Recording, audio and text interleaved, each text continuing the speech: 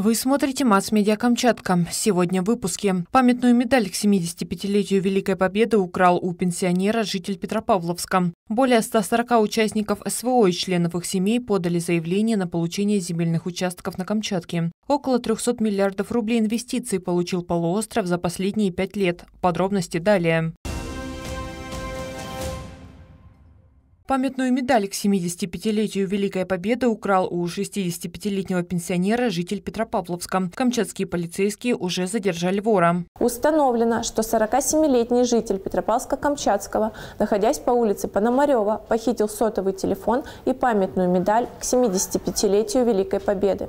Ущерб от действий злоумышленников составил 12 тысяч рублей, что является значительным размером. В настоящее время в отношении подозреваемого Следственным управлением УМВД МВД России по городу Петропавловску-Камчатскому возбуждено уголовное дело по признакам преступления, предусмотренным пунктом В части 2 статьи 158 Уголовного кодекса Российской Федерации. Кража. Санкцией указанной статьи предусмотрено максимальное наказание в виде лишения свободы на срок до пяти лет. Мужчине избрана мера пресечения в виде подписки о невыезде.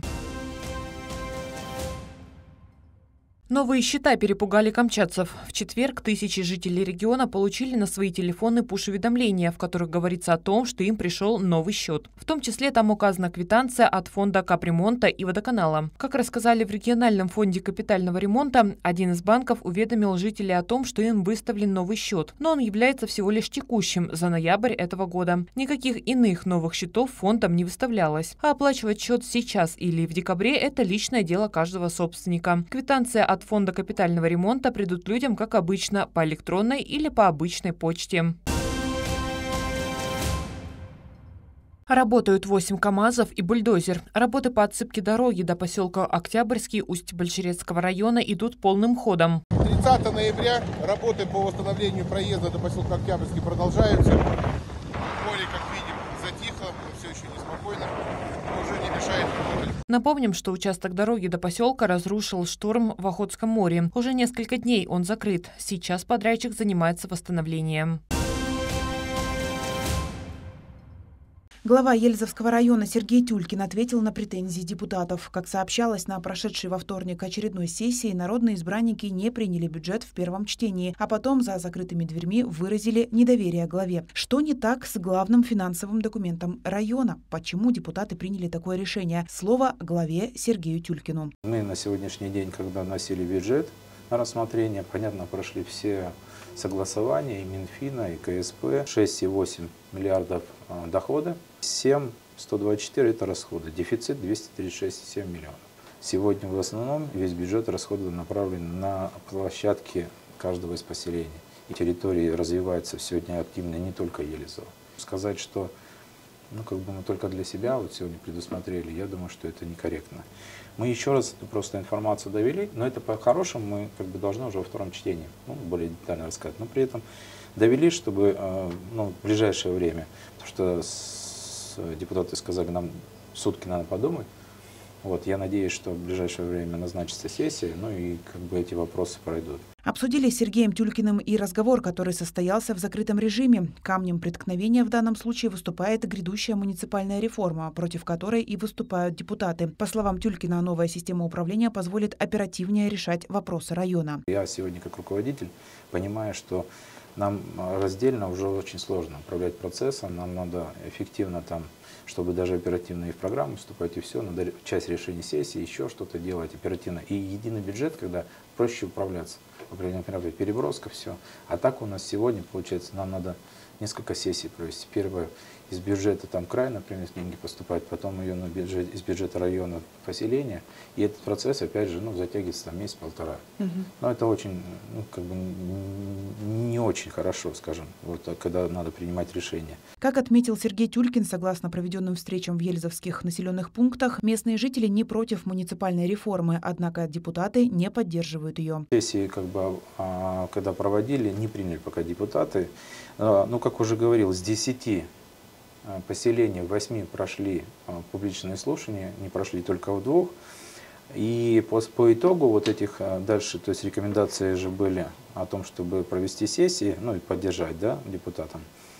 В четырех прошли сессии, депутаты приняли решение, в четырех не приняли решение, ну то есть там как бы, потому что они голосуют тайно и должны быть две трети, просто не собирали кворум. Вот. И в двух, э, две сессии состоявшиеся, они категорически приняли решение, ну, что будет против. Информагентство «Масс-медиа Камчатка» следит за развитием ситуации. Более 140 участников СВО и членов их семей подали заявление на бесплатное получение земельных участков на Камчатке. Об этом сообщил глава региона Владимир Солодов. Они поступают и через сайт, и через МФЦ, и через органы местного самоуправления. Э, и готовят сейчас первые участки к выдаче. Предсказуемые наиболее популярные э, муниципалитеты – это Петропавловск-Камчатский городской округ и Елизовский район. Э, сейчас в Петропавловске участки готовятся. В этом году мы не успеем их выдать. Участки в краевой столице находятся в районе улицы Солнечная. Там будет заранее сформирована планировка, которая позволит э, не просто участки выдать, а создать жилую среду э, и обеспечить и транспортную доступность, ну и возможность максимально быстрого строительства индивидуального дома. Много участков уже подготовлено в Елизовском районе. Здесь надо отметить такую проактивную позицию. Это и Новолесновское сельское поселение и ряд других э, в районе Вулканного. Сейчас готовятся дополнительные участки. С Минобороны тоже взаимодействуем, потому чтобы расширить. Э, есть возможность выбрать либо быстрее земельный участок в Елизовском районе, либо немного подождать придется, и вот в, э, в городе участки, о которых я говорил, тоже будут доступны. Добавим, участник СВО и члены семьи военнослужащего имеют право на земельный участок при условии наличия статуса ветерана боевых действий у участника СВО, наличия звания Героя России или ордена за заслуги, проявленные в ходе участия в специальной военной операции, наличия регистрации по месту жительства или пребывания в крае и отсутствие на праве собственности на полуострове земельного участка, предоставленного бесплатно. Около 300 миллиардов рублей инвестиций получила Камчатка за последние пять лет. Конечно, если выделять факторы, которые влияют на такой прирост инвестиций, все-таки я бы одно из ведущих мест отвела бы тем режимом территории опережающего развития и свободного порта Владивосток, который сегодня действует на Дальнем Востоке и на Камчатке. А, напомню, что вот ровно 10 лет назад президент Российской Федерации определил Дальний Восток вектором а, всего будущего развития а, России на, 21, на предстоящий 21 век. А более того, следующий 2024 год – это год десятилетия режима территории опережающего развития. И потихонечку мы уже начинаем первые итоги подводить. На территории региона реализуют 67 крупных инвестиционных проектов резидентами территории опережающего развития. А за весь период существования этого режима в экономику региона проинвестированы более 75 миллиардов рублей и создано более 10 тысяч рабочих мест. Те инвестиционные проекты, которые действуют в рамках территории территории опережающего развития благодаря преференциям и федеральным преференциям, и региональной инвестиционной поддержки, они, конечно, дают, наверное, один из самых весомых вкладов в экономику Камчатского края. Юлия Морозова отметила, что самой распространенной сферой предпринимательства, которая заходит в ТОР, является туризм и индустрия гостеприимства. То только за последние годы а, много проектов запустилось. На наших глазах буквально прям вот мне кажется, днями строится дорога на три вулкана, и мы тоже видим, какой прогресс здесь идет большой. Но это, конечно, сфера развивается очень активно. Большой вклад в объем инвестиций озвученный вносит рыбохозяйственный комплекс. Наверное, если смотреть по по количественным показателям, наверное, самый большой вклад. Конечно, Камчатка на наших глазах развивается, и, наверное, самые именно быстрые темпы, интенсивные темпы – это вот последние 5-6 лет. Отметим о создании на территории Дальнего Востока территории опережающего социально-экономического развития президент страны Владимир Путин заявил в своем ежегодном послании Федеральному собранию 12 декабря 2013 года.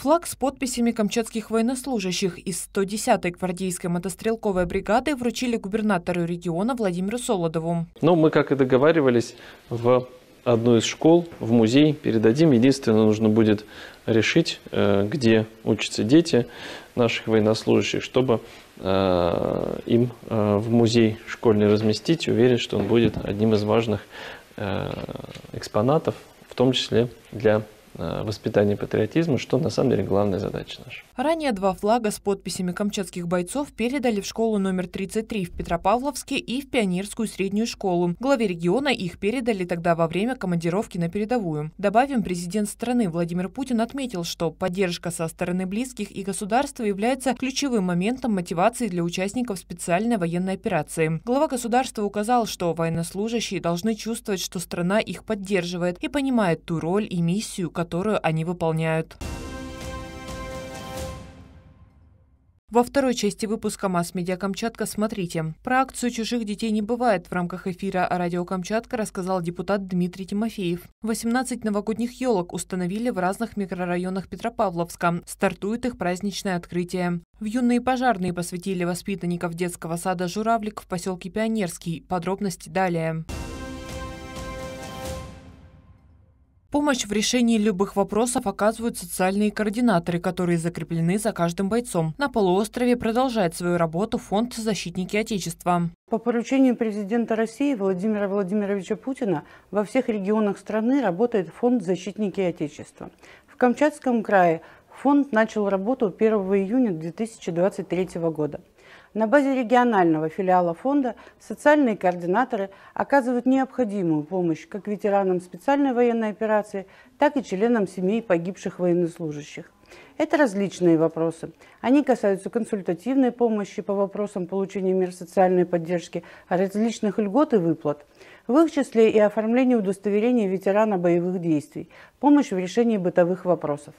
Данная работа ведется совместно с Министерством социального благополучия и семейной политики Камчатского края. И, конечно, для нас главная цель сегодня – поддержать защитников страны, окружить их заботой и вниманием. Как отметил ветеран СВО Владимир Берестенников, в региональном филиале фонда ему оказали необходимую помощь. В том числе это психологическая поддержка и предоставление технических средств реабилитации. Когда услышал указ президента о том, что создается такой фонд, я понимал и понял для себя, что этот фонд нужен.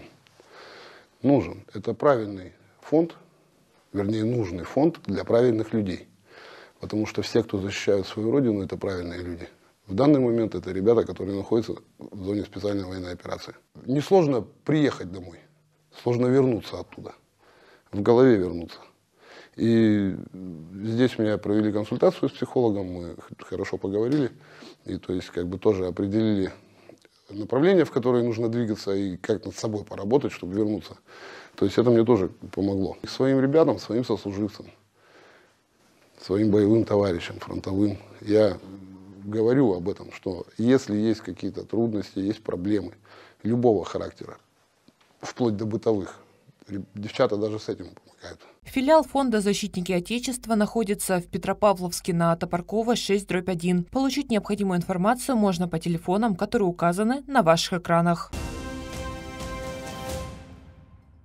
Поделился опытом управления регионом со сложными климатическими условиями, транспортной доступностью и быстрыми темпами развития. Губернатор Камчатки Владимир Солодов встретился со студентами Высшей школы экономики, которые хотят связать свое карьерное и научное развитие с полуостровом, а также с наиболее активными участниками платформы «Госвышка». Глава региона рассказал, что Камчатке нужны смелые и амбициозные молодые люди. У полуострова есть интересные профессиональные задачи есть возможности самореализации. На встрече также поговорили о том, как отстаивать интересы регионов на федеральном уровне, об увеличении числа проектов, финансируемых из бюджета страны, и о тех отраслях, которые приносят региону доход. Во время сессии участники мероприятия задали Владимиру Солодову интересующие их вопросы по различным темам. Добавим, Госвышка – это платформа студенческих лидеров Высшей школы экономики, заинтересованных карьерой в государственном секторе для преобразования страны и общества к лучшему. Уже через месяц Новый год, поэтому пора собирать подарки. Настоящий предпраздничный эфир прошел на радио Камчатка. Гостем стал депутат от микрорайона «Горизонт» в Петропавловске, заместитель председателя комитета по соцполитике Краевого заксобрания Дмитрий Тимофеев. Народный избранник предстал в образе Деда Мороза. Депутат рассказал ведущим и слушателям про акцию «Чужих детей не бывает», в рамках которой сказочные волшебники дарят детям из многодетных и малообеспеченных семей, а также детям с ОВЗ настоящий новогодний праздник. Детишек. У нас акция проходит уже 20 год, это юбилейный год. Я думаю, на Камчатке и в Петропавловск-Камчатском уже нет людей, которые не слышали бы про эту акцию. Многие принимали участие. Э, ко многим приходили наши Деды Морозы.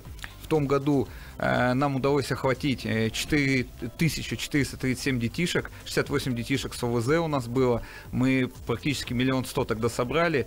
Э, сейчас, конечно, мы столкнулись с новыми трудностями. Есть серьезное подорожание конфет. Э, вот буквально на той неделе лично включался. Изначально было предложение, чтобы остаться в той же сумме, уменьшить граммовку на 130 грамм. Я сказал, что это неприемлемо, потому что я вот лично хожу по этим семьям. И для многих вот этих детишек, я понимаю, что 130 грамм конфет это очень, очень много. Э, поэтому мы там нашли возможности. Сам выезжал в Гулливер, мы постоянно с коллегами работаем, договорились, мы и громовку оставили, и конфет шоколадных добавили. Ну, единственное, чуть-чуть в цене все-таки мы подвинулись, э, пришлось немножко увеличиться. Э, ну, я думаю, оно того стоит. Сейчас побольше э, с предприятиями работаем. Мы уже и письма разослали, уже часть денег собрали. Дмитрий Тимофеев рассказал, кто участвует в акции. Это в первую очередь депутаты, а также неравнодушные предприниматели. Каждому ребенку дарят сладкие подарки. Самое главное – это вот те эмоции, которые мы получаем. Это вот, наверное, вы правильно говорите, самая добрая акция. Заряжаешься эмоциями, столько вот позитива. И вот мне лично помогает она, знаете, еще в работе. Я сам разношу конфеты. И всегда, ну, на самом деле, по-разному попадаю. Иногда вот попадают, люди часто звонят, просят, чтобы поздравили. Мы стараемся никому не отказывать. Но иногда попадаем, понимаем, что семья не очень нуждающаяся, да. Э, а иногда вот э, приходишь и одного из семьи открываешь, которых действительно сложно. Там могут в однокомнатной квартире открыть пять детишек, там с одной мамой. Ну, нормальная семья, но просто им тяжело. И мы с такой семьей уже потом на протяжении года работаем по различным направлениям, где есть какие-то возможности, мы стараемся помочь. Поэтому она, знаете, такая очень важная, в том числе, чтобы район дополнительно пройти и увидеть, где такие семьи еще у нас находятся. Ну, а лучше детишек никто не поздравит, да, на Новый год. Наши предприниматели, как они идут навстречу охотно, насколько я знаю, местные производители у нас, наоборот, за все такие движухи. Вот Максим мне, как да, мне представитель. Пришло, мне пришло приглашение, да, да, да. Звонила девочка с оргкомитета. Да, мы подключимся, подключимся. Спасибо, спасибо. Активно. Сейчас вот пока вот начали чуть-чуть, на мой взгляд, посложней.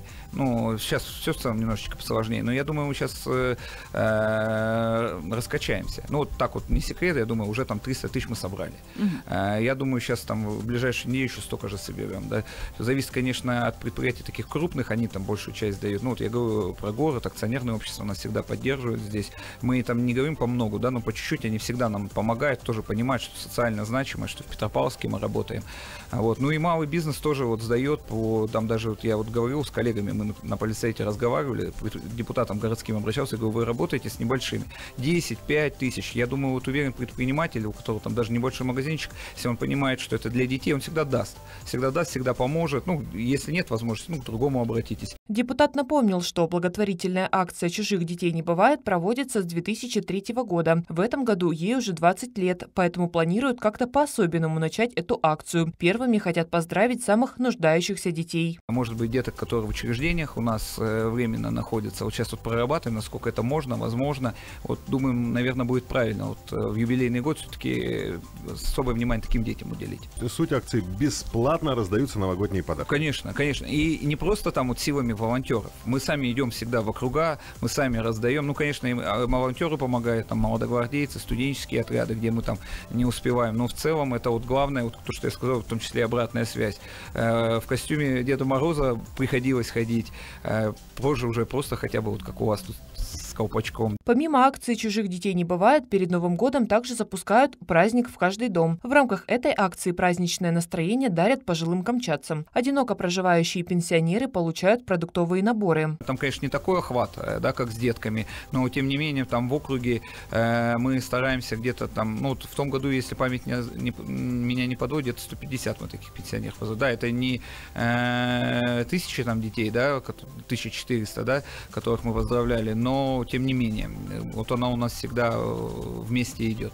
Как реагируют бабушки и дедушки Бабушки и дедушки это вообще самые позитивные, наверное, люди, самые благодарные люди.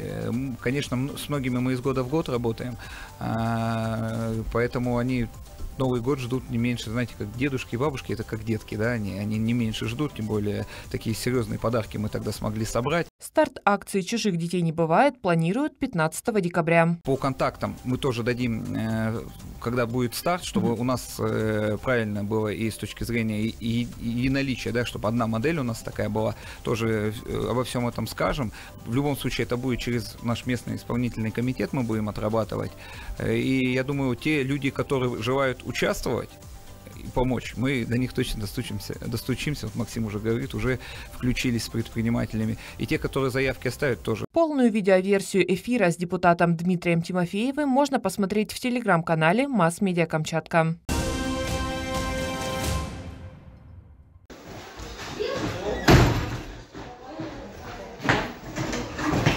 Щедрые душой и сердцем жители. Во временно отрезанном от внешнего мира Ахатаморским циклоном поселке Октябрьский жизнь бьет ключом. В сельской школе прошли благотворительные акции в рамках Всемирного дня доброты «Щедрый вторник», организованные волонтерскими движениями «Якорь» и «Твори добро». Результатом акции «Корзина доброты» стала помощь малоимущим пенсионерам поселка. 19 пожилых жителей получили продуктовые наборы. На акции «Лапа помощи» собрали 14 килограммов сухого корма, 17 пачек жидкого корма, 15 килограммов килограммов наполнителя для лотков и несколько коробок с постельным бельем для приюта Кадофеева. На акции «Своих не бросаем» для участников СВО собрали 7 коробок с продуктами, медикаментами, средствами гигиены, батарейками, нательным бельем и носками. Участие приняли не только ученики и учителя Октябрьской школы, но и все желающие жители поселка. Собранные подарки для ребят на СВО и посылки приюту Котофеева скоро отправят в Петропавловск. Доставку уже традиционно взяла на себя администрация Октябрьского городского поселения населения.